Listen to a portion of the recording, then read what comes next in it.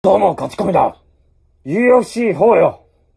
早くゲームフェイス機能をな、追加してくれよ。それがないから俺はいつまでも UFC3 をプレイする羽目になってんだ。いつまで経っても UFC3 の実況から抜け出せないんだ。俺はゲームフェイスの機能を愛しているんだ。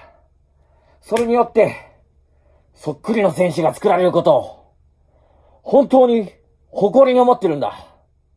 俺は UFC4 も発売当初買ったんだけれどな。UFC3 についていたゲームフェイス機能がなかったから、速攻メルカリで売っちまったよ。本当に残念でならなかった。だからゲームフェイスを UFC4 にも追加してくれないか ?EA スポーツさんよ。